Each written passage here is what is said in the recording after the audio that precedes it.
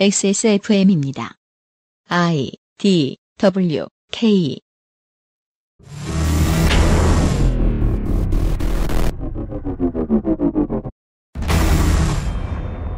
기본 교양, 슈퍼히어로 문학의 인해, 스판덱스 영웅전.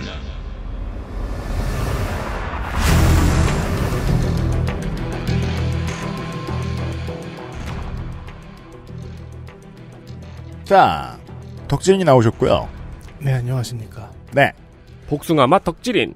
제가 이게 지난주에 우리가 했던 얘기를, 어, 덕진이 나왔으니까 직접 물어봅시다.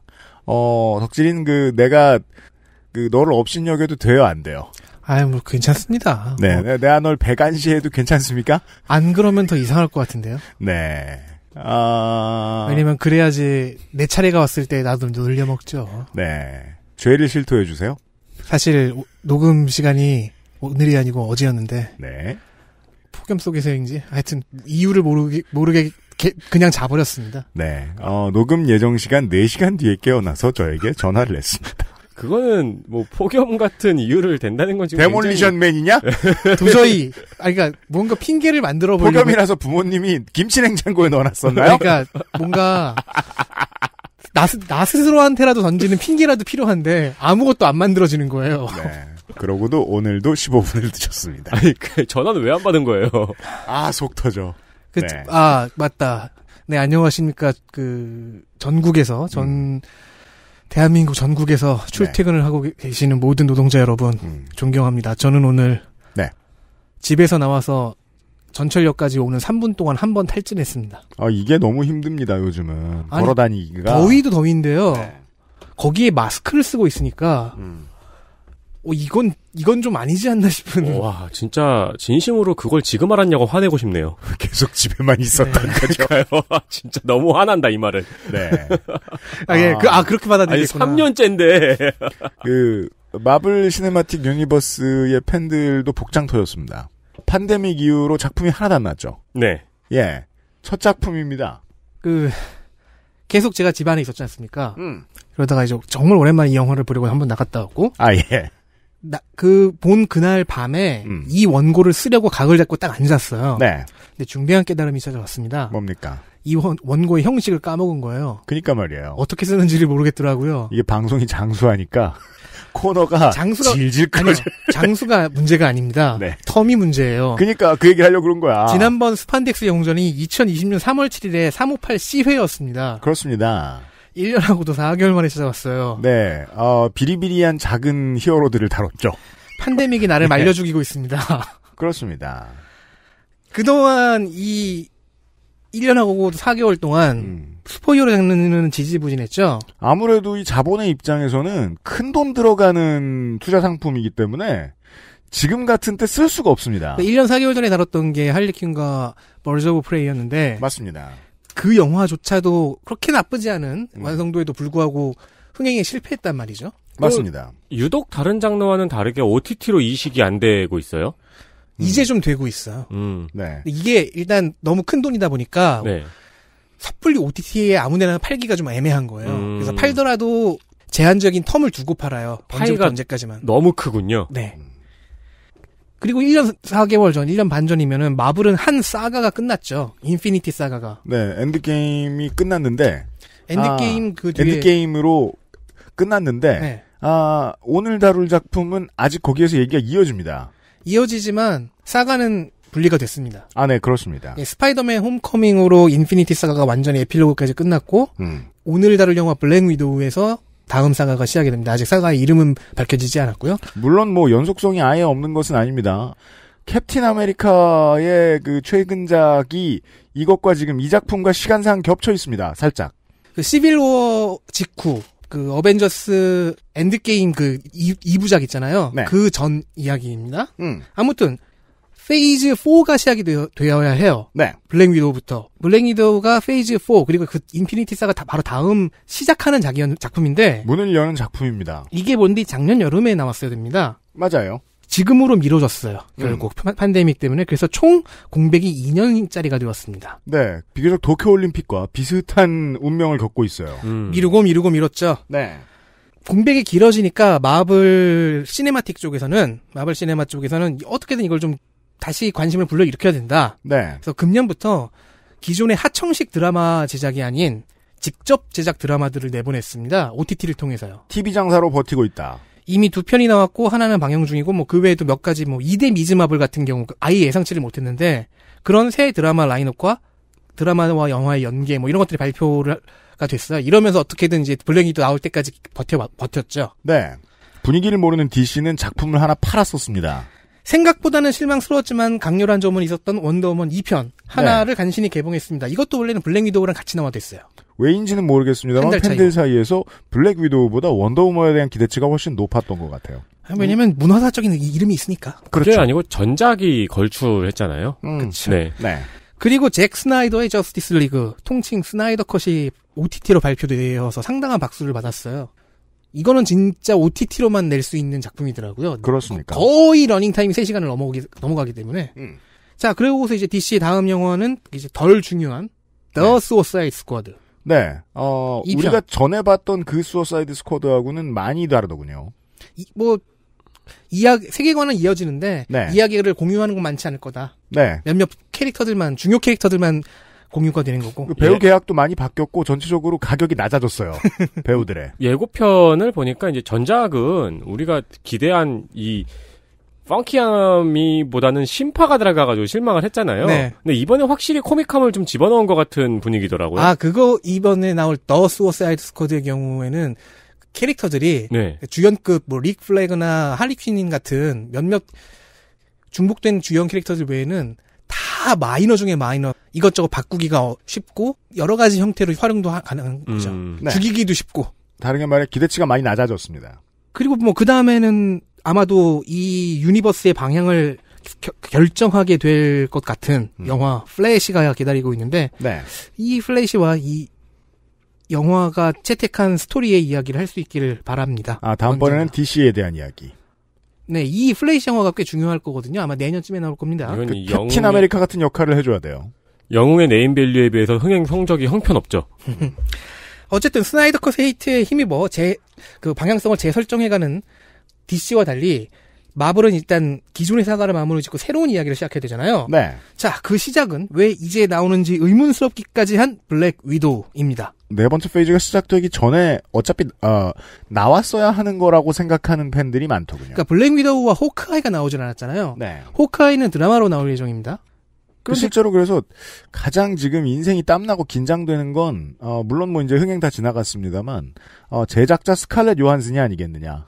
너무 부담스러운 상황이 많이 겹쳤습니다. 네. 그런 얘기가 있었어요. 그 과거에는 TV 쪽을 담당하는 사람이 따로 있었어요. 네. 원래는 이제 장난감 회사 하다가 마블로 들어와서 음. 자기 회사가 마블에 인수되면서 들어와서 경영진까지 올라온 아이작 펄머터라는 사람이 있는데 이 사람이 좀 물건이었습니다. 블랙 위도우에 영화가 안 나오는 이유 중에 하나가 아이작 펄머터가 이제 해킹당해서 유출 유출당이 됐던 메일에 따르면은 여성 히어로 장난감은 안 팔린다. 뭐 그런 얘기를 하면서 음. 메일 가득 여성 비하 얘기가 있는 거예요. 네.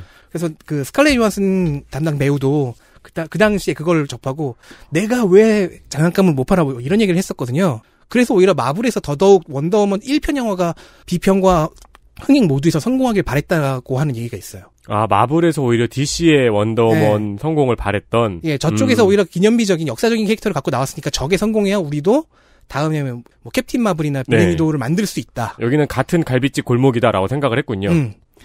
자, 그리하여 블랙 위도우 블랙 위도우 1964년 스탠리 돈 리코 돈 헥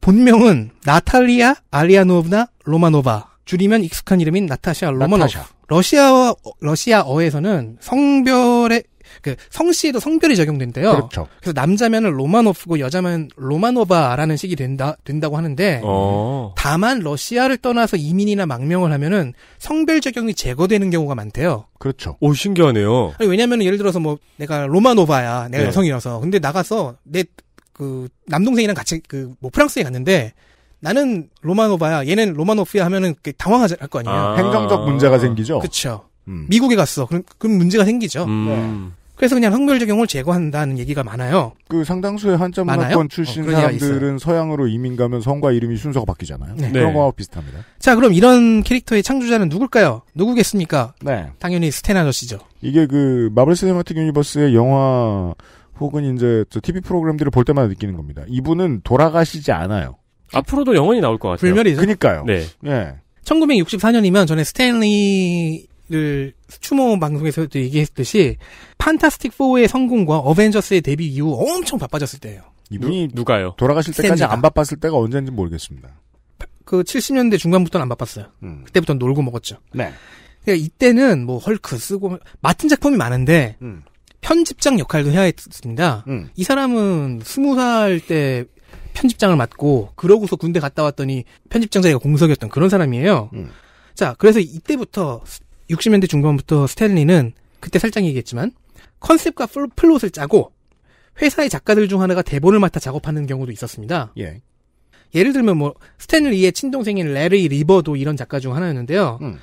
작업 과정에 있어서 스탠리가 다른 작가들의 자율성을 최대한 보장해주는 선택을 했다는 이야기를 2018년 11월에 한 적이 있습니다. 한 적이 있습니다. 저는 이제 이걸 좀 더 넓게 보면은 이게 원래 이제 스탠리가 공장식 분업화를 지- 작업을 지향하기도 했지만 음. 동시에 일이 너무 많으니까 그냥 니들 맘대로 해라고 해- 했을 수도 있다고 생각해요 이제는. 네. 이거 디테일상 어, 몇 퍼센트가 누구의 아이디어인지 알아내는 게 너무 힘들기 때문에 음, 음. 그, 그, 우리가 알고 있는 폭발적인 그 작품 발간을 자랑하는 만화가들도 이런 식의 작품 작업을 많이 하잖아요. 네, 어시스턴트들을 최고의 실력가들을 두고서 뭐 이렇게 쫙 공장처럼 돌리긴 하지만 그래서 나중에 자기 만화가 뭔지도 못 알아보고. 아무튼 설정과 기본 플롯을 잡은 작가, 그러니까 plotter가 스- 스탠리고요. 네. 스크립트를 쓴 글작가 스크립터는 돈 리코입니다. 그림을 맡은 penciler는 돈 헥입니다. 이름이 둘 다 돈이어서 왠지 마피아 같아 보이는데요. 네. 반만 대강 맞습니다. 돈 리코의 경우에는 이탈리아계예요. 음. 본명이 도나토 프란치스코 리코.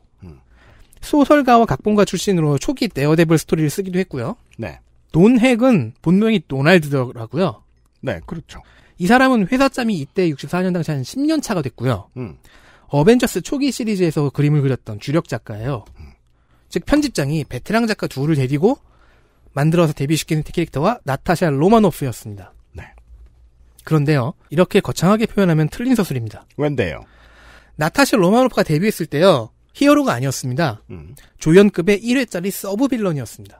뭐 시대를 보면 소련 사람을 어, main villain으로 쓰- 쓸 수도 있지만 어쨌든 그냥 뭐 지나가는 villain이 가능성이 매우 높아요. 소련의 스파이로 등장해서 아이언맨의 적대자 역할을 했고요. 코스튬도 없었으니까 supervillain으로 분류할 수도 없어요. 음. 즉 최초의 블랙 위도우는 이야기를 진행시키면서 나, 가- 진행시키면서 등장한 소련 측 악역 중 하나였을 뿐이었습니다. 이름도 사실 약간 기분 나쁜 거미 이름이죠. 그냥 뭐 미국에 사는 네. 거미입니다. 과부거미. 정말 여담으로 원래 마블에는요. Golden Age 시절에 30년대에 블랙 위도우라는 anti-hero가 하나 있긴 했어요. 우리가 이 역사를 뒤져보면 계속 발견하는 게 동명 이 히어로가 종종 나와요. 전혀 유명하지 않고요. 음. 한국에선 거의 알려지지도 않았는데 저는 이 캐릭터를 처음 보고 너무 놀랐거든요. 음. 뭐야 그럼 나타샤가 2대야? 근데 2대는 아니에요. 그냥 까먹은 거예요. 근데 스- 그런데 이 네. 원조 블랙 위도우도 설정이 별로 밝은 편이 아니에요. 사탄과 계약한 흑마법 마녀입니다. 음. 근데 그 흑마법으로 악인들을 징벌해서 지옥으로 끌고 가요. 오. 저승사자예요. 거의 그런 거예요. 어. 몸에 딱 붙는 원피스 입고요. 원피스를 입고 그게 되나? 아무튼 villain인 블랙 위도우가 다시 데뷔 이후에 다시 한번 쓰이면서 5개월이 지났습니다. 네. 데뷔를 하고서 음. 다시 한번 써, 써먹기로 했어요. 음. 스탠 리와 돈 리코는 이 캐릭터를 좀 발, 발전시켜볼 생각이 들었던 것 같습니다. 블랙 위도우는 소련 정부로부터 코스튬과 무기를 지급받고 아이언맨과 싸우기 위해서 동료를 하나 구합니다. 이 동료가 호크아이. 네. 클린트 바튼이 이렇게 데뷔했습니다. 음. 당근 같은 데서 뭐 동료 구합니다. 같이 안티 히어로 하실 분 구합니다.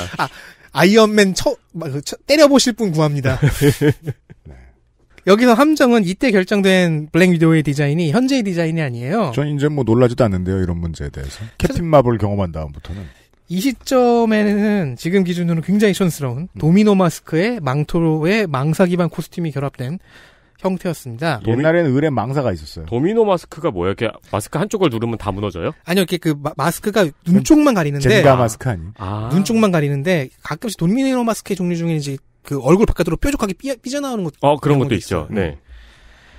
자, 아무튼 빌런인 블랙 위도우와 완전히 빌런은 아닌 호크아이가 어벤져스를 상대로 싸우는 스토리를 거쳐서 이 둘은 어찌저찌 미국과 어벤져스로 전향합니다. 이민가요. 이때가 1966년입니다. 네, 법적으로 이민 가는지 모르겠지만 아무튼 전향해요. 4년 뒤인 1970년 스파이더맨 이슈에 조연으로 등장하면서 블랙 위도우는 현재의 코스튬 디자인을 얻게 됐습니다. 네, 아, 지금 보는 그 뭐랄까요? 어떤 그 히- 히어로물 영화에 출연하는 배우들 중에서도 어, 가장 속편하게 생각할 수 있는 음. 코스튬. 네, 그러니까 온몸을 거- 뒤덮는 검은 스판덱스, 네, 붉은 단발머리, 허리띠는 황금색, 어, 팔찌도 황금색이고, 네. 그리고 허리띠와 팔찌에는 원거리 전기 충격기인 Widow's Bite, 가- Bite 같은 시그니처 무기들이 들어있죠. black and gold죠. 이 회사의, 이 회차의 작가는 스탠리와 존 로미타 시니어. 표지에는 블랙 위도우의 실루엣에 대고 스파이더맨이 아니 날더러 어떻게 싸우라고 내 여성 버전이나 마찬가지인데 라고 말하고 있습니다. 음, 둘다 거미 컨셉임을 활용한 낚시성 표지입니다. 그러죠. 몇 년 정도 이제 조연으로 돌리면서 이제 준비가 됐다고 생각했습니다. 마블 편집부는 이어서 블랙 위도우의 솔로 시리즈를 시도했습니다. 상업적으로 성공하지는 못했어요. 그러니까 홀로 서기가 완성되지 못한 거죠. 당시 대다수 원더우먼과 같은 극소수를 제외하는 여성 히어로들이 대부분 이런 형태였죠. 그래서 다시 조연으로 빠집니다. 기존 주인공들을 support하는 chemistry 실험이 시작됩니다. 근데 첫 실험부터 대박이 터졌어요. 71년에 데어데블 시리즈에 투입이 됩니다. 예상을 뛰어넘는, 뛰어넘는 좋은 케미가, 좋은 chemistry와 데- 스토리가 나오면서 아예 타이틀 제목이 데어데블 and 블랙 위도우로 바뀌어버립니다. 오. 주연이 된 지 50년 됐네요. 음, 그쵸. 주연 된 지 지금은. 음. 그리고 이때부터 블랙 위도우는 여러 남성 슈퍼히어로들과 염문을 뿌리기 시작합니다. 그 70년대의 작품을 쓰던 사람들의 마인드인 거죠. 네. 스파이고 소련 출신이에요. 자, 누구나 쉽게 마타를 떠올릴 수 있게 되는 거죠. 음. 1차 대전의 첫 버전에서 뭐 실제로는 그렇게까지 유명하지 않았다고 하지만 네. 미녀 스파이의 대명사로 이미지가 뿌리 깊게 박힌 그 이름이죠. 이게 생각해 보면은 우리나라도 그 여성 간첩 앞에는 약간 자석처럼 미녀 이런 거 붙인 것 같아요. 그러니까요. 맞아요. 자석처럼. 네. 그래서 그거를 누가 누가 판단했을 거예요. 그냥 그러니까- 기- 그 데스크에서 한 거죠. 웃기죠. 어, 007도 겁나 데이트를 하고 다니는데 네. 그것은 첩보와 관련이 없죠. 주로 방해가 되고. 실제로는 첩보에 방해가 되죠. 네. 네. 생각해 보면 참 무능해요. 감정 하나 조절 못하고. 쉽, 네. 쉽 게 해결할 수 있는 인물을 굳이 어렵게 만들어요. 네. 네. 그리고 당시의 시대가 이제 70년대라는 거는 냉전 시대죠. 음. 이 시대는 첩보전이라는 개념을 넘어서 그 자체가 산업화되기까지 했다고도 평가되는 시대였습니다. 음. 즉 마타리의 후손 캐릭터가 냉전 시대에 등장한 거예요. 아직 완전한 독립은 되지 못했고 때문에 다른 캐릭터와의 관계 위주로 활용이 되면서 꽤 많은 부분이 섹스 어필이었는데 그 quality는 매우 높은 캐릭터로서 블랙 위도우가 자리 잡혔습니다. 그렇군요. 아, 그럼 이때도 슈퍼히어로물 내부에서 활동을 하면서 스파이의 identity가 스토리에 계속 드러나는 거예요. 그렇죠. 음, 변장도 하고 막. 그래서 블랙 위도우가 중심이 되는 스토리가 나오면은 뒤통수 치기 사실은 이러, 이러, 이러했다 아. 그 black site라고 하죠 비밀기 비밀기지 안전가옥 뭐 이런 것들이 계속 나오죠 음. 비밀기지라고 변장 크게 간판으로 써놓고 네온 사인. 절 그런 거 아니고 술집. 네.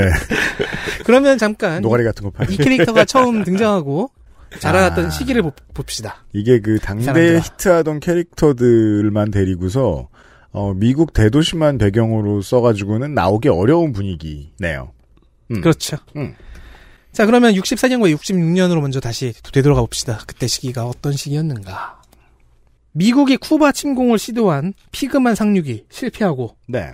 쿠바 미사일 위기로 이어졌던 바로 직후가 64, 65, 66년입니다. 네. 이때는 또한 미국이 베트남 전쟁에 참여하기 바로 직전이죠. 음. 냉전을 전 후반으로 나눴을 때 전반기 중 절정부였습니다. 그렇습니다. 미국이 못 참고 여기저기 불을 지르고 다니던. 당장 내일 미국과 소련이 핵전쟁을 시작을 해도 크게 이상하지는 않았던 음. 네. 시대였죠. 우리는 이제 역사를 알고 있어서 아 69년에 대탕트 무드가 와서 분위기가 좀 누그러진다는 걸 알지만 이때는 그 여명 직전에 가장 어두운 새벽일 때였습니다. 그렇습니다. 쿠바 미사일 위기 때 그 맥나마라가 백악관을 나오면서 그런 생각을 했다 그러죠. 저 해를 내일도 볼 수 있을까? 네. 그러니까요. 네. 음. 이 시대의 스파이를 대표하는 이름 중에 하나가 조지 블레이크라는 영국인입니다. 음. 네, 영국 정보원이었, 영국 소속이었는데, 동시에 소련의 스파이였어요. 네. MI, 그, MI6가 KGB에 침투시켜둔, 그러니까 음. 영국에서 소련에 넣, 넣어둔 이중 스파이 500여 명의 신원을 소련 쪽으로 넘겨버리는 대박을 터뜨린 스파이입니다. 얼마나 매력적인 스토리입니까? 자, 이 당시 자유진영과 공산진영 양쪽은 서로의 정보에 목말라 있었고요. 이들에게 정보를 판매하는 중립정보원과 이중 스파이, 삼중 스파이가 우후죽순 생겨났습니다. 음. 이 당시의 방첩업계는 그 자체로 산업이기도 했다는 평도 있습니다. 그런 해석도 있습니다. 네. 왜냐하면 free agent들이 많이 들러붙었다는 얘기죠. 그러니까 그들이 정보를 생산해내고 그것이 진짜든 가짜든 음. 그러면 그것을 각국 정보부에 판매하고 정보부는 이것이 진, 이 사온 정보가 진짜인지 아닌지를 판단하면서 또 돈이 들어가고 그래서 espionage industry라는 단어도 있지요. 자, 그래서 다시 한번 이런 시대에 만들어진 그리고 이 시대를 데탕트를 넘어가면서 성숙화된 캐릭터가 블랙 위도우입니다. 자, 거미줄 같은 로맨스 라인, 기본 사양으로 탑재된 섹스 어필, 소속을 전향했기에 그것도 공산 주- 진영에서 자유 진영으로 넘어왔기에 정반대로 넘어왔기에 갖게 되는 어두운 분위기. 아, 매력 있네요. 이렇게 듣고 보니까. 그 자신의 과거는 저쪽에 있잖아요. 적국에. 네. 그러니까 만약에 우리나라의 슈퍼히어로물이 흥했다면은 음. 북한 특수부대 출신 슈퍼히어로는 꼭 있었을 것 같아요. 그쵸. 그리고 매력 있었을 것 같아요. 그리고 이 사람은 왜 전향을 했을까? 아, 소련에서 너무 비인간적인 임무들을 많이 맡겨서 음. 선을 많이 넘었어. 이러면서 후회하, 아직도 후회하고 있는 과거의 그 끔찍한 임무들. 막 피자에 파인애플을 넣으라는 임무. 이탈리아인 앞에서. 그렇죠. 토마토를 구워 먹으라는 임무. 그러면 돈 리코는 이탈리아이니까 이를 갈면서 그렸을 거야. 자, 이러면서 첩보물 장르의 당대의 첩보물 장르의 모든 요소를 담아낼 수 있는 그릇이 되어갑니다. 네. 그럴 수밖에 없죠. 말만 해도 벌써 섹스 어필 쪽에서는 아무래도 소프트한 SF라고 하면은 그것도 뭐 제임스 본드일 수 있고 여기 뭐 액션도 들어갈 수 있고 음. 그리고 이런 어두운 속성은요 중흥기인 Silver Age보다는 현실성을 강조하기 시작한 70년대부터 즉 Bronze Age 내지는 90년대 어둡고 진지한 느와르 분위기를 지향하는 Modern Age 이런 때에 훨씬 잘 어울렸습니다. 즉 시대가 변해 시장의 트렌드가 무거워지면 음. 진지해지고 어두워지고 무거워지면 거기에 참 잘 맞는 대기만성형 이었던 거죠. 아, 이거는 007과 스타워즈가 서로 바톤 터치를 하는 장면하고 비슷하군요. 음. 배트맨 오리지널 시리즈 나오던 90년대에도 영화가 나올 법 했겠네요. 자, 그래요 1999년 중편기의 솔로 시리즈가 나오면서 현재 캐릭터 서사가 기본 서사가 완성이 됩니다. 원전에서의 기본 서사를 한번 들려드리겠습니다. 나타샤 로마노프는 2차 대전 때 태어났어요. 음. 원전에서는 그렇게 늙었죠. 네. 태어나자마자 친모를 잃습니다. 거의 뭐 캡틴 아메리카하고 동년배급. 네, 거의 뭐 같은 세대예요. 네. 음. 자, 죽어가는 친모는 그러니까 진, 지금 100세쯤 되신 거예요. 지나가는 남자 아마 군인이었겠죠? 네. 어, 이거는 약간 네. 아침 방송 리액션을 제가 해볼게요. 네, 알았어요. 죽어가는 친모는 어. 지나가는 남자 이반 페트로비치 메주코프라는 사람에게 딸을 맡깁니다. 죽기 직전에. 어. 거기서 왜 아가 이름이 길어서요? 뭐 그런데 내가 아침 방송 못 보는 이유가 그거. 매번 리액션의 이유를 궁금해. 그런데 이반은 소련에서 스파이 트레이너였어요. 와. 거기 왜 와야? 애 갓난애를 맡은 남자가 스- 알려고 스파이 하면 인더스트리에 좀 종사하는 사람인데 패배의 뭐, 뭐 멋있잖아요. 아무튼 영화에서는 이 이반이라는 이름이 친부라고 기술이 됐죠. 음. 뭐 아니면 양부일 수도 있지만 자 어쨌든 이반은 장, 자신의 수양딸 겸 수제자로 나타샤를 키웠고요. 음. 어. 그 훈련 기관의 이름이 레드룸입니다. 레드룸. 그만해. 네. 이건 소련이 전 세계에서 모아놓은 소년들을 소녀들을 음. 학생 삼아서 돌린 스파이 양성 기관이에요. 네. 안팎으로는 발레 학교로 위장되어 있지만 몇 학년 이상 올라가면 알게 되죠. 우리는 사람 죽이는 걸 연습하고 있다. 네. 음. 아왜 발레를 안 해? 이런 생각이 들 때쯤이면 그러니까 기- 되면. 발레는 기본 훈련이었을 뿐이에요. 네. 게다가 여기서는 불완전한 super soldier 혈청, 그러니까 원전에서 음. 완전한 super soldier 설- 혈청을 맞은 사람은 오직 캡틴 아메리카 하나뿐이고 음. 나머지 super soldier들은 다 불완전한 버전들을 맞은 거예요. 네. 네. 부작용이 없으면 성능이 별로고 음. 성능이 좋으면 부작용이 심각해요. 그렇죠. 자, 아무튼 이런 슈퍼솔저 혈청 불완전한 버전을 통해서 생체 실험을 받는다든지. 음. 그래서 나타샤 로마노프는 노화가 굉장히 늦습니다. 그리고 모종의 화학적 혹은 외과적 처치를 통해 불임이 된다든지 음. 세뇌를 한다든지 하는 여러 반인권적 훈련 프로그램이 있었습니다. 네, 냉전에서 자본주의 세계가 공산주의 진영을 바라보던 시각을 상업화시켜 놓은 얘기입니다. 이 모든 과정을 통과해 살아남으면 과부거미에서 따온 위도우라는 명칭의 첩보 요원이 되는 거고요. 음. 나타샤 로마노프는 당시 기수에서 역대 최고라는 얘기도 있고 당시 기수에서 최고라는 설정도 있는데 음. 어쨌든 최고의 성적과 실- 졸업 후에도 최고의 실적을 올린 블랙 위도우였던 겁니다. 아, 위도우 중에 블랙 위도우인 거군요. 네. 이 과정에서 냉전 시절 당시에 소련 소속으로 세뇌당한 상태였던 윈터 솔저 음. 버키 반즈와 만나 로맨스도 하나 만들었습니다. 그렇죠. 이게 대선 때 되면 시끄러울 문제죠. 버키 반즈가 사실은 소련에서 놀아먹었다. 이런. 어, 근데 이 세뇌, 저게 상, 무슨 캡틴 아메리카냐. 세뇌 상태에서도 로맨스가 되네요. 그러게요. 그건 안 상했나 봐. 어쨌든 이 두 사람은 그 이후로도 거의 평생이 그러니까 헤어졌어도 평생이 연인 같은 그 세뇌가 풀려도 그 계속 사랑할까? 아, 그 말씀을 그러게요. 아, 그거는 이제 버키 반즈만의 기- 중심의 서술에서 또 다르게 서술이 돼요. 어. 네. 그 말씀을 왜 드렸냐면 이 버키 반즈는 잠시 캡틴 아메리카죠. 아주 잠시. 네. 자, 99년작 이 이야기에서는 옐레나 벨로바라는 인물도 등장을 합니다. 이런 흐름을 모르고 이제 블랙 위도우를 보신 분들은 이렇게 말합니다. 전 세계적으로 다들. 그래서 이게 블랙 위도우 얘기냐. 옐레나 벨로바의 이야기냐. 자, 나타샤가 소련을 등지고 전향했잖아요. 근데 그냥 전향한 것도 아니고 제3국으로 망명한 것도 아니고 어벤져스의 멤버이자 미국 실드의 비정규 요원, 요원이 됐어요. 이적 행위죠. 그죠? 그 이후 말장난입니다. 옐레나 사실은 맞아요. 이적행위 맞죠. 네. 옐레나 벨로바는 그 이후 역대 최고까지는 아니지만 나타샤 이후 최고의 블랙 위도우가 된 인물입니다. 그렇죠. 즉 전향하지 않은 버전의 나타샤라고 할 수 있고 실제 음. 블랙 위도우 이름에 적법한 계승자를 자처했어요. 레드룸의 두 번째 어 블랙 위도우. 네, 수석. 코스튬도 블랙 위도우와 동일했는데 다른 점은 금발이라는 것 그리고 네. 상의가 배꼽티라는 것. 좀 짧아졌습니다. 네. 그래서 99년작 블랙 위도우의 스토리는요. 현존 최고로 최고의 블랙 위도우인 나타샤 로마노프와 싸가지 없는 강력한 후배 블랙 위도우 옐레나 벨로바의 대결이 중심이 됩니다. 한 명은 소련인, 소련 쪽인 상태로 네. 싸움인 거죠. 음. 이건 일종의 블랙 위도우라는 이름 자체를 건, 그 아이덴티티를 건 싸움이기도 하고, 음. 정치적인 싸움이기도 하고, 훨씬 더 개인적인 공명심도 있는 거죠. 내가 최고의 레드룸 졸업생이다. 아, 그렇죠. 즉, 이 중심에 있는 기관 레드룸이 나타샤의 캐릭터성을 요약하는 상징이 됩니다. 다시 한번, 한번 또 요약을 해보죠. 레드룸의 비인간적인 훈련 프로그램이라는 요소가 있고요. 여기에서 만난 과거의 인연들이 있어요. 여기서 만난 교관도 있을 거고, 먹기반지도 있고, 교장도 있고, 양아버지도 있고, 네. 그때 만나서 같이 훈련했던 동기들이 있고, 선후배들이 있고, 레드룸 졸업 후에 받은 비윤리적이고 더러운 임무들이라는 요소도 있죠. 그러면 전향한 나타샤 로마노프는 그것을 후회하고 또한 그리워하는 생존자이기도 한, 한 겁니다. 그래서 생존자로서의 나타샤 로마노프가 완성되는 순간이고요. 이번 영화 역시 이 생존자성을 이어받아 강조했습니다. 레드룸에서 전향한 생존자. 음.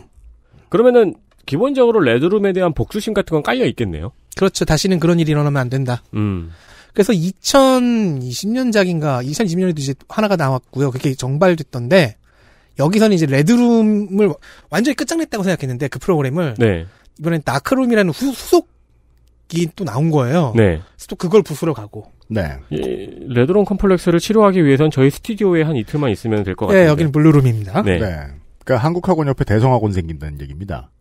음. 이게 그 사교육 광풍의 부작용을 이야기하고 있는 작품이에요. 제가 부탁드리니 이런 소리는 좀 잘라주시면 안 되겠습니까? 이것들 계속 이렇게 줄 세우는 교육만 시켜놓으니까 못돼 처먹어가지고. 그렇지. 레드룸에도 1타 강사가 있겠고. 네. 나가! 여기 레드룸도 지금 오- 온라인으로 할 거 아닙니까? 이게 수석들은 다 쌍스러워, 그니까 저, 다 성격이 더러워져가지고. 서로 죽이고 막 이러잖아요. XSFM입니다.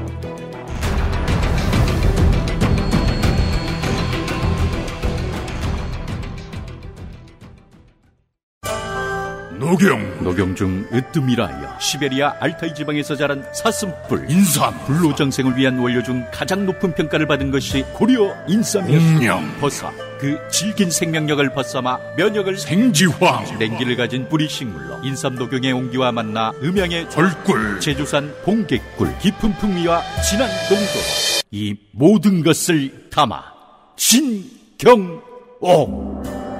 평산네이처 구스베리 추출물로 모근을 더 건강하게 자연 유래 성분으로 자극 없는 세정력, 뛰어난 보습 효과와 영양 공급까지 Big Green 이젠 탈모 샴푸도 빅그린 헤어로스 샴푸 퇴소하는 게 엄청 큰 일일 거라고 생각했거든요. 근데 너무 아무렇지 않게 집이 바뀌어 있더라고요. 제가 무슨 생각이 들었냐면, 어, 그러면 나는 이제 내 스스로 나를 찾아야 되는구나. 내가 할 수 있는 일 찾아야 되는구나. 만 18세가 되면 보육원을 나와 자립 정착금 500만 원으로 자립해야 합니다. 이렇게 보호가 종료되는 아이들은 한 해 약 2,500명. 이들은 어떻게 살아가고 있을까요? 18 어른의 건강한 자립을 위해 함께 해주세요. 아름다운 재단 18 어른 캠페인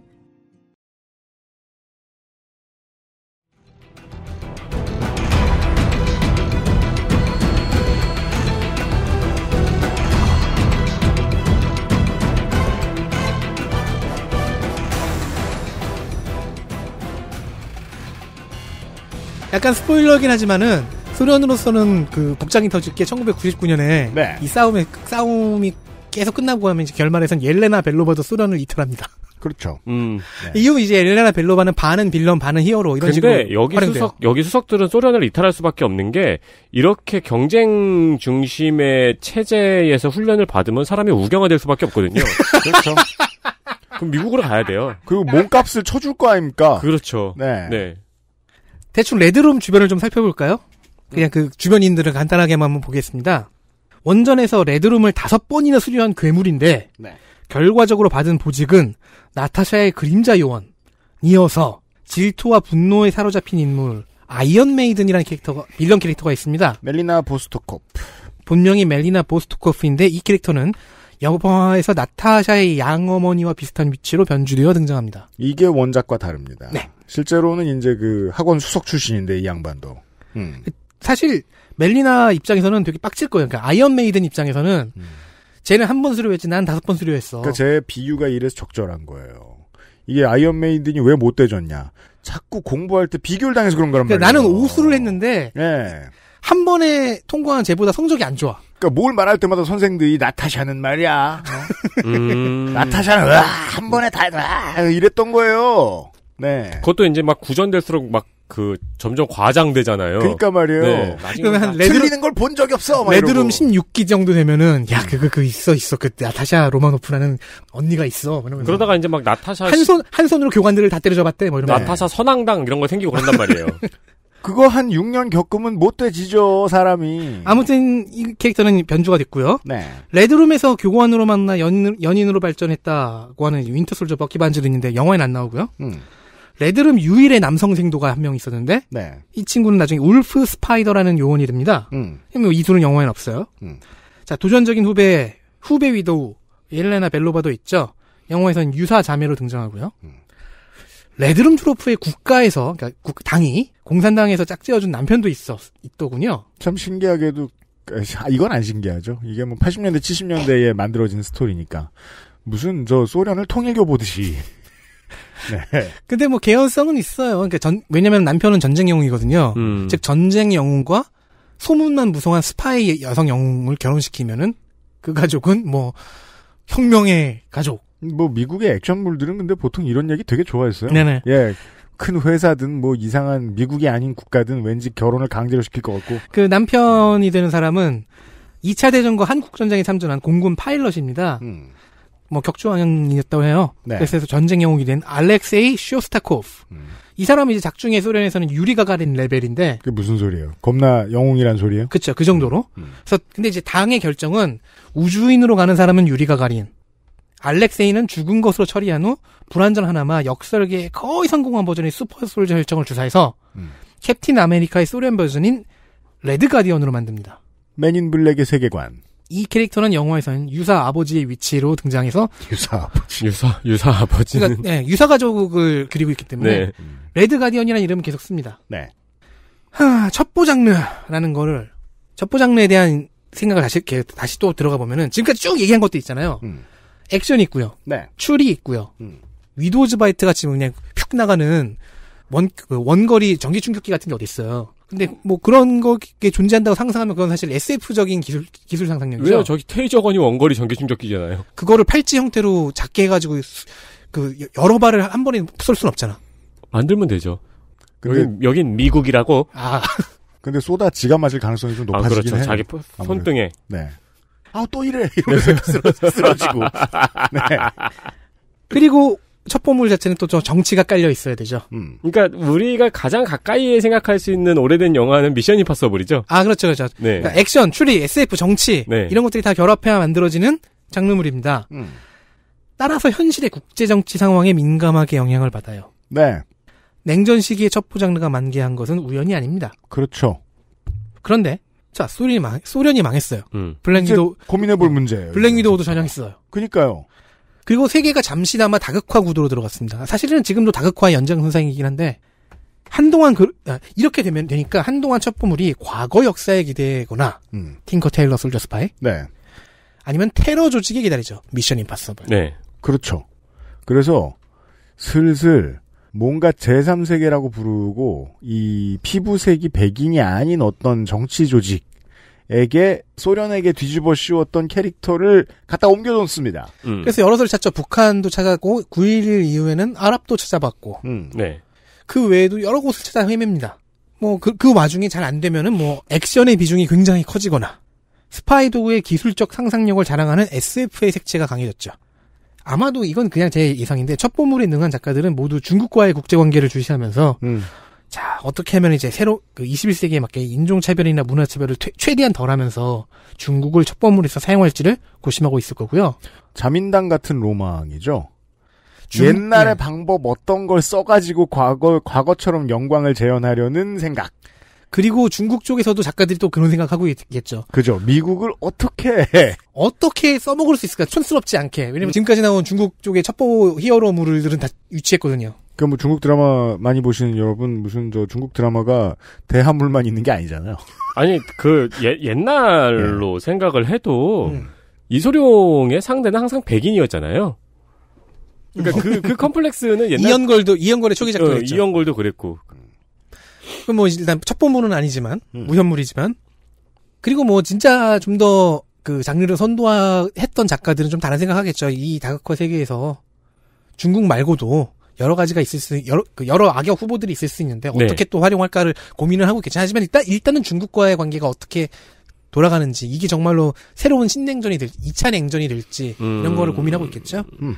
자 그리고 훌륭한 첩보물인 블랙 위도우 영화 역시 나름의 현실 반영을 해냈습니다. 네, 현실이 음. 바뀌었는데 2020년대에는 슈퍼 히어로물은 이 장르는 여러 장르를 집어삼킨 그 잡탕 혼종 장르라서 음. 자 여기에 첩보물이 들어왔어요. 그런데 슈퍼 히어로는 어떻죠? 외계인도 등장할 수 있고 마법도 등- 등장할 수 있어요. 어떻게 혼종이 되다 보니까 네. 판타지로 만들 수가 있어요. 그러면 뭐 첩보물에서는 가장 편하죠. 가공의 테러 조직을 만들듯이 여기서는 그냥 가공의 조직들을 만들면 돼요. 음. 그리고 영화는 여기에 유사 가족을 등장시킵니다. 유사 가족을 가장 중심에 놓습니다. 앞서서 설명한 캐릭터들 알렉세이, 멜리나, 나타샤, 옐레나 이네는요 공산당 그 소련 공산당이 인물을 지정해줘서 가족이 된 가짜 가족입니다. 네. 과열된 학원 교육의 피해자들이지요. 그리고 이들은 당시 레드룸에 의해 피해를 입은 사람들이기도 하죠, 사실은. 음. 그렇다면 이 가짜 가족이 21세기 다시 만났어요. 서로의 상처를 공유하며 진짜 가족이 될 수 있을까요? 이 질문이 영화가 시작 지점부터 던지는 질문입니다. 네. 피해자 모임이에요. 가짜 가족 4인 중에 여성인 3명은 레드룸에서 직접 훈련받거나 훈련을 시킨 뭐 세뇌 교육을 다 거친 사람들이에요. 네. 세뇌 교육 이 부분이 가스라이팅에 대한 은유로 작용을 합니다. 별 생각 없이 보면 안 보입니다. 그리고 레드룸을 졸업해서 위도우라는 이름의 최정의 요원이 된 여성들은 모두 미성년자 납치 피해자이기도 합니다. 그렇죠. 그러니까 소련이 어디서 전 세계에서 갖가지 인종의 소녀들을 어떻게 모아오겠습니까? 모든, 사오, 예, 사오고 납치하고 하는 거죠. 모든 입시 경쟁은 미성년자 납치예요. 그거 동의합니다. 네. 따라서 국제 청소년 인신매매 이슈가 떠오르는 대목이지요. 참고로 세계에서 보고되는 인신매매 피해자는 기본이 100만 명 단위이며 가끔씩 천만을 넘기기도 합니다. 음. 보고된 것만 말이죠. 네. 이 중에 청소년, 특히 여성 청소년은 몇이나 될까요? 자, 이런 주제의식을 새로 심습니다. 냉전 갖고 장사하기 어렵거든요. 그리고 어? 이거는 사실 냉전에 대한 반성이기도 하죠. 근데 정말 약간 한국의 입시 광풍과 비슷하기도 하네요. 전 그런 생각이 들었다니까요. 네, 납치, 세뇌, 가스라이팅, 가혹한 성장기, 서툰 연대, 피해자성, 음. 생존자성. 네. 지금 다시 한번 얘기해 보겠습니다. 납치가 있고요. 세뇌 있고요. 가스라이팅 있고요. 가혹한 성장기라는 거- 요소가 있고요. 피해자들끼리 연대가 좀 잘 안 되는 네. 모습도 있고요. 피해자성도 있고 생존자성도 강조되고요. 이게 레드룸에서 살아남아서 블랙 위도우가 된 나타샤 로마노프라는 사람의 영웅성을 이 영화가 표현하는 방식입니다. 그렇죠. 이게 이제 우리가 흔히 아는 널리고 널린 흔하고 흔한 유명한 이름을 가진 슈퍼히어로들이 이미 겪은 그 뭐라 터널이죠. 이 마블 시네마틱 유니버스의 터널. 힘을 갖게 되면서 얻는 고뇌의 문제. 근데 상당수 유명한 히어로들은 힘을 그냥 얻었죠.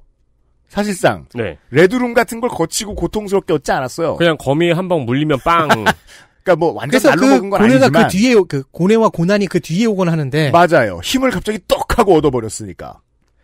근데 이제 아이언맨이라든가 블랙 위도우라든가 하는 사람들은 그 과정 자체가 고통스럽죠. 그렇죠. 그 과정 자체 힘을 얻는 과정 자체가 고뇌이고 고난이죠. 그래서 그 성격이- 이후에도 그, 그것이 오긴 하지만 그래서 성격이 망가지면 온 세계 사람들더러 너네도 시험 보라고 난리를 칠 거예요.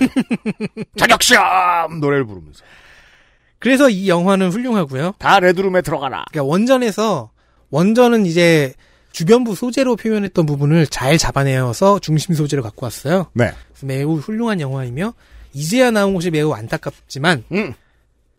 동시에 원전에서 블랙 위도우 캐릭터가 완성되어 온 그 과정 자체가 다시 재현된 느낌입니다. 늦게 늦게 대기만성형으로 재현되고 앞에서 수많은 궁금증스러운 떡밥들을 쫙 복선들 쫙 간 다음에 후, 나중에 풀었잖아요. 99년과 2020년에 네. 그런 그 과정이 영화에서도 똑같이 진- 그 반복된 느낌이에요. 네. 어, 학원 액션물 블랙 위도우에 대한 소개였습니다. 아닙니다. 학원의 액션물. 블랙 위도우에 대한 소개였습니다. 그렇습니다. XSFM입니다. 가장 본연의 것에 집중했습니다. 기본에서 답을 찾다. 새로운 건강기능식품. 건강 스타일엔 튜비엔. 본 광고는 건강기능식품 광고입니다. 지루성 두피염이라 가렵고요. 머릿결은 푸석푸석하니 엉겨붙어요. 게다가 이젠 머리카락까지 많이 빠지니까 너무 불안한 거 있죠? 샴푸 아무거나 쓸 때는 이미 지난 것 같고 좋다는 거 많이 써봤는데 글쎄요. 뭐 없을까요? 빅그린 헤어로스 샴푸요. 구스베리 추출물로 모근을 더 건강하게 자연 유래 성분으로 자극 없는 세정력, 뛰어난 보습 효과와 영양 공급까지 Big Green 이젠 탈모 샴푸도 빅그린 헤어로스 샴푸.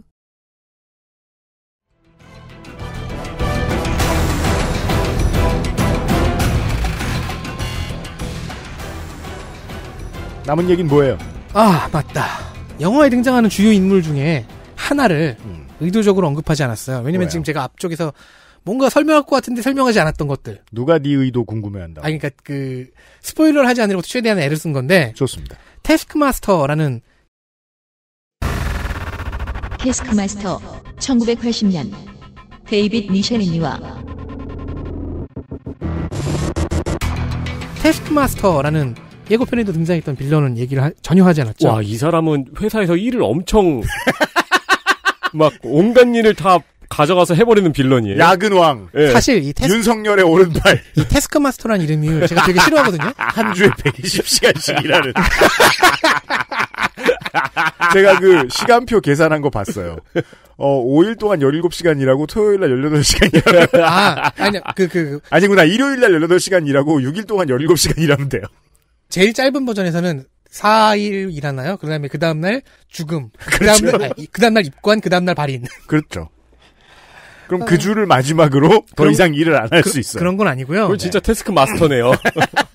아니, 저는 가끔씩 마블의 B급 캐릭터들부터는 이름이 너무 이름을 너무 대충 지은 것 같아갖고 근데 진짜 아, 너무 싫은 빌런이에요. 테스크 마스터는 이름으로는 이름 그 본명도 대충 지었습니다. 본명이 안토니 마스터즈입니다. 마스터즈 씨예요. 어, 이 캐릭터의 영화성 모습을 조금이라도 언급하면 스포일러가 됩니다. 음. 어, 지금까지 제가 계속 피했잖아요. 네.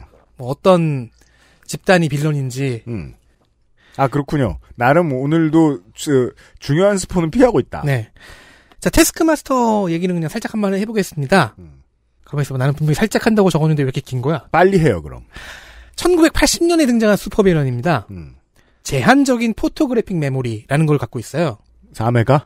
아니요, 그게 아니고 제한적 메모리 아니, 용량이 적어요. 1980년이면 4메가도 엄청나죠. 누구, 그렇죠. 아니요, 네, 누군가의 동작을 보면 그걸 그대로 따라할 수 있습니다. 네. 모쿠진이죠. 아. 그래서 그 완벽하게 복사가 가능해요. 음. 그 레슬러의 그 프로레슬러의 움직임 보면 그 프로레슬링 기술을 쓸 수 있고 음. 태권도 금메달리스트의 그 동작을 보면 그, 그 발차기 그 움직임을 그대로 따라할 수 있고. 네. 네, 맞, 맞아요. 모쿠진이에요. 네. 생각해보면 MCU에 하나쯤 있을 법한 캐릭터입니다.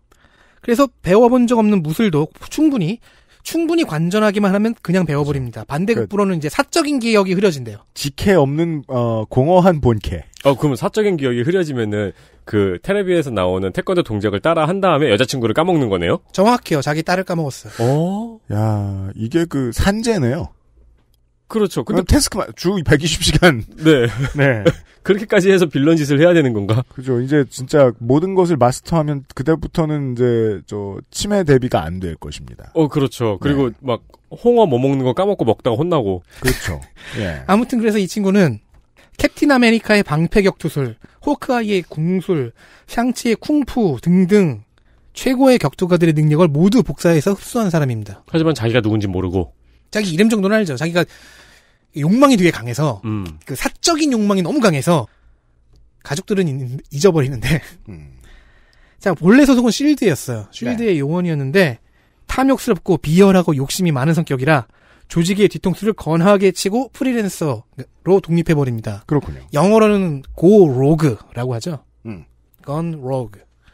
즉 블랙 위도우와는 블랙 위도우와는 정반대의 길을 걸은 첩보원이에요. 네. 그렇기에 그 원전에서 그런 모습이기에 영화에 캐스팅되었다고 추정해 볼 수 있습니다. 그 평생 우라카이나 하면 성격이 안 좋아지게 돼 있습니다. 어 맞다 우라카이맨이네. 네. 그리고 이야기할 수 있는 한도가 여기까지이므로 음. 테스크마스터에 관련된 여담이나 하나 주워 섬기고 마무리하겠습니다. 그래요? 짧게 하겠다더니 여담까지 있어요? 몇. 달 전에 음. 한국 국기를 디자인 모티브로 삼은 태극기라는 캐릭터가 마블 코믹스에 등장했다고 하죠. 만약에 이거 그 정부 부처에서 이런 거 했으면은 탄핵 얘기 나왔을 겁니다. 내 세금 아까워. 여기서는 이슈가 된 적이 있다라고 하는데 이슈가 됐었구나라는 마음이네요. 저 아 잠깐 저도 저 기사를 읽은 적이 됐어요. 있어요. 제 세계에서는 이제 그 태극기를 모티브로 한 덩크로우가 발매된다고 해서 이슈가 됐었는데 음. 아 네. 어, 반스에서 이- 저 이번 주에 아마 태극기 아, 그렇죠. 네, 뭐 네. 나올 거예요. 음. 그 제가 이- 이때 당시 이 얘기를 너무 하고 싶었는데 야, 그때 사- 그때 사람들이 뭐 댓글에서 싸우면 싸우고 있었던 얘기는 이런 거예요. 아 유치해 죽겠다. 음, 음, 음. 아니야 저건 저장내에서는 흔한 방법이다. 국가 의인화라는 방법이다. 음, 네. 그래도 국뽕 마셔보자 태극기가 나왔다. 아이고 그래도 유치하다. 등등으로 싸웠습니다. 근데 이제 뭐 왜 한국이라는 나라를 태극기라는 가장 쉬운 기표에다가 몰아넣느냐라는 불만은 있죠. 왜냐면은 성조기를 그 기표로 몰아넣은 캡틴 아메리카는 30년대 캐릭터고요. 그렇죠. 하면서 그 유니언 잭을 하나에 그렇게 모아놓은 똑같은 국가 의인화 방법으로 유니언 잭을 만든 캡틴 브리튼이 몇 년도 작품이었다. 그것도 아마 20세기 중, 근데 차라리 테스, 중후반이고. 테스크 마스터가 더 한국적이잖아요. 테스크 마스터는 참고로 해골 모양의 헬멧을 쓰고 다닙니다. 맞습니다. 절대 벗지 않아요. 그 더 한국적이네요. 그 막그 배달 문화도 명날. 같이 의- 의인하면서 과로와 함께.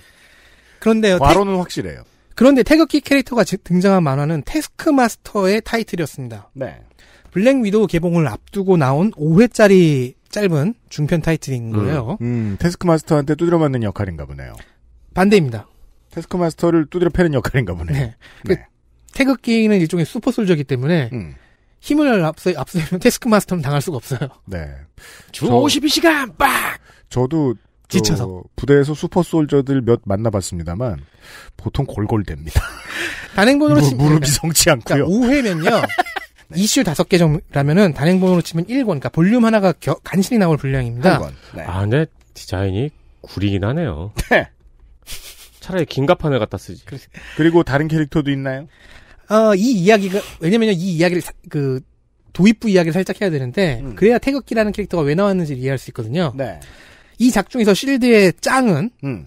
디렉터는 네. 마리아 힐입니다. 여기선 힐이 닉 퓨리보다 선임이더라고요. 실드 국장이죠. 그 닉 퓨리가 힐을 힐의 후임이었 후임인 설정인 거예요. 음. 근데 힐이 죽은 거예요. 음. 시작하기 하자마자 네. 이 힐이 죽은 다음 죽은 후 범인으로 지목된 사람이 테스크마스터입니다. 음. 그리고 테스크마스터는 자신의 누명을 벗기 위해서 닉 퓨리와 함께 행동하기로 합니다. 음. 지금 퓨리는 어, 마리아 힐이 마지막으로 집중했던 프로젝트 지구 멸망급 무기가 있다. 이러면서 이 프로젝트를 뒤쫓으면 진범을 잡을 수 있겠지? 그래서 둘은 조사를 시작합니다. 하지만 힐의 죽음에 빡친 블랙 위도우가 테스크마스터를 뒤쫓고 테스크마스터는 죽고 싶지가 않으니까 바쁘게 도망다니며 조사를 하는 게 내용인 첩보 장르입니다. 에스피오나지. 음. 아, 이것도 경무네요. 그니까요. 힘들어요, 여러모로. 네. 음. 퓨리가 가진 정보에 따르면 이 프로젝트의 암호를 풀어내려면은 첩보기의 거물 셋의 동작을 동작 암호가 필요하대요. 아, 한 명은 이렇게. 한 명은 이렇게. 아니, 그 귀여운 표정 짓지 말고. 이거 말고 그 스마트폰. 푸는 그 동작이 아니라 옛날에 한국. 예능에서 하던 그 정신통일 그런 거 말고 아, 그렇죠. 그거 있었죠. 사람마다 그 제가 그 미묘한 동작의 버릇의 차이가 있잖아요. 아, 그렇죠. 그거를. 감지하는 네. 거죠. 자, 그러면 마블 세계 강국은 누가 있을까요? 뭐 미국, 중국, 유럽 뭐 이런 건 당연히 있겠고. 네. 그리고 뭐 와칸다가 있겠죠. 그렇대죠. 그러면 거물 셋은 누구 누구인가? 음. 미국의 필 콜슨, 음. 와칸다의 오코예, 한국의 화이트 폭스입니다. 음. 그 앞에 둘은 영화로 인해 메인급으로 뜬 캐릭터들이에요. 아, 맞아요. 필 콜슨은 아예 영화 오리지널이고 그럴 겁니다. 그런데 화이트 폭스가 왜 이 거물 명단에 끼어 있지? 음. 하는 게 제 첫 번째 이 시리즈를 이 이슈의 내 그 내를 보고 든 생각이었습니다. 음. 얘가 왜 여기 있어? 아무래도 국정원 멤버 저기 그렇죠. 처음에 그 직원이니까. 생각만 했어요. 네. 그런데 저는 좀 다른 생각이 나오는 겁니다. 마블 편집부가 다- 향후 자, 자기 쪽에서 지기, 그 진행시킬 첩보물의 중요한 요소로 남한을 생각하고 있다 추정을 해- 해볼 수 있다는 거죠. 그러니까 아. 국제 질서의 한국의 역할이 어 헐리우드의 아젠다에 어떻게 녹아들 것인가에 대한 고민이라는 거예요. 여기는 일단 분, 분단 국가고 아, 그러네요. 그러니까 이거는 다시 정치 이야기로 돌아오는 게 박근혜 정권처럼 외교에서는 이런 캐릭터가 안 나올 겁니다. 네. 더 중요한 지정학적 위치가 굉장히 중요하죠. 여기 중국 바로 옆에 미국 동맹국이에요. 그렇죠. 그러면 할리우드나 음. 만화 편집부가 볼 때는 첩보 장르를 진행시킬 때 그 주변 요소를 반드시 집어넣으면 집어넣으면 좋은 나라가 어떤 되죠. 시나리오 작가 입장에서는 야, 우리가 잃고 허망했던 냉전이 저기 마지막 냉전이 있네 하는 느낌이네요. 그것도 다이나믹하게 계속해서 변화하고 있죠. 그 내가 화해할 것 같았다가 다시 안 그렇죠. 좋았다가 또 다시 뭐 화해할 것 같았다가 내가 제가 이제 cine, Marvel Cinematic Universe의 작가라면 그렇게 생각하는 게 더 매력이 있을 거예요. 외줄타기 외교를 하는 음. 네 이상한 지정학적 위치의 나라. 그런데 이제 그 나라를 다루는 게 딱히 어색하지도 않게 됐어요. 왜냐면 이제 South Korea라는 나라의 이미지를 많은 사람들이 머릿속에 넣게 되었으니까요. 네. 네. 그럼 이제 또 과로를 해야죠. 자, 작중에서 Taskmaster가 세 사람의 동작을 복사해야 되잖아요. 네. 그러려고 이제 세 나라를 돌아다녀야 되지 않습니까? 아 로딩이 좀 걸리나 보군요. 아니, 그러니까 미국에서 일단 하- 필콜슨을 찾아서 복사를 하고 한 명의 꽃게 자세를 복사하고. 네. 세 사람을 자기 시야에 넣기만 하면 돼요. 네. 근데 그 사람이 꽃게 자세를 언제 할지 어떻게 알지? 그 특정 자세가 아니라 그냥 자- 움직이는 모습만 아, 보면 네. 되는 그건 거니까. 말을 걸어야죠 계속. 그 어떤 자세를 취하도. 근거리에서 그 사람이 뭐 걷고 말하고 싸우는 모습을 보면 되는 거예요. 음, 음. 근데 그건 근거리에 가야 되잖아요. 네. 그러면 그 사람의 부하가 등장할 거 아닙니까? 음. 그래서 그 부하와 싸웁니다. 음. 정확히는 부하들에게 쳐맞습니다. 와, 네. 그러다가 잘못해가지고 부하의 동작만 잔뜩 복사하고 막 그런 낭, 이게 아닌데. 낭, 낭, 낭, 이러면서. 3회가 다 차고. 어, 램이 적거든요. 그래서 2회가 미국에서 쥐어 터지면서 간신히 필 콜슨의 동작을 복사하는 회차이고요. 음. 3회가 서울에서 국정원 본부에 잠입, 자- 잠입을 하는 내용입니다. 음. 그런데 화이트 폭스 하나미의 직급이 호랑이 부서라는 부서의 국장입니다. 아니, 그- 붉은 악마인가요? 아니, 근데 Fox면은 여우 부서 정도는 해줘야지.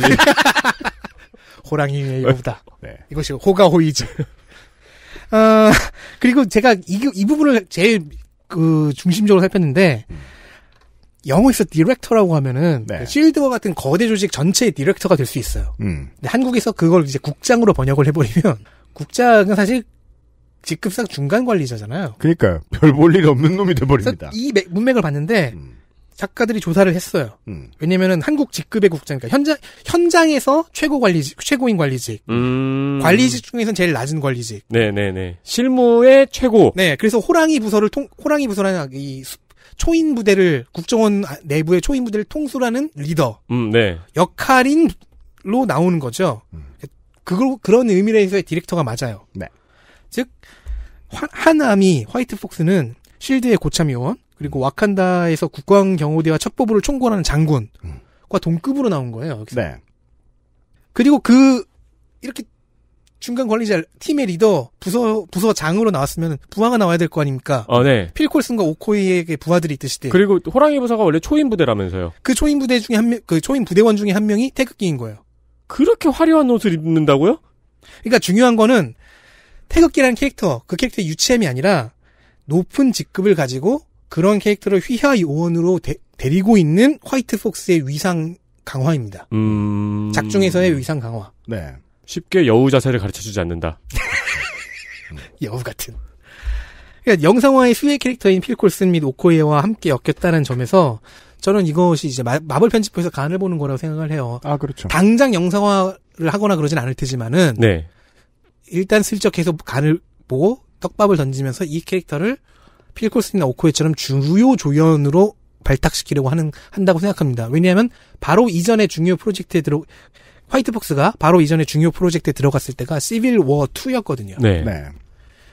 그 자체로는 비평적으로 실패하긴 했지만 어쨌든 커다란 프로젝트의 분명히 한 부분으로 들어갔습니다. 아, 근데 첫 선물로서의 한국이 등장하는 이 히어로물은 흥미가 좀 가네요. 재밌을 것 같네요. 그리고 작가들이 열심히 공부를 하고 있는 것 같고요. 네. 그 무수한 기획자들이 퇴사하고 늙어 죽고 국제 질서가 새로 바뀌어도 어 마블과 DC가 없어지진 않기 때문에 이 간을. 간을 보고 관련된 작품이 언제 나올지는 예측하지 않는 게 좋겠습니다.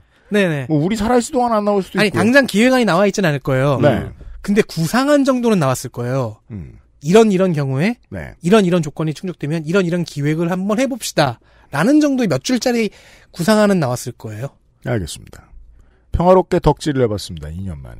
다음 작품 나올 때 만나요. 다음 덕질인. 작품은 아마도 The Suicide Squad. 아 이건 넘어갑시다. 그니까 네. 관심 없어요. 누구의? 존 시나의. 아, 존 시나가 나와요? 다음번에 봐요. 다음번에 뵙겠습니다. XSFM입니다.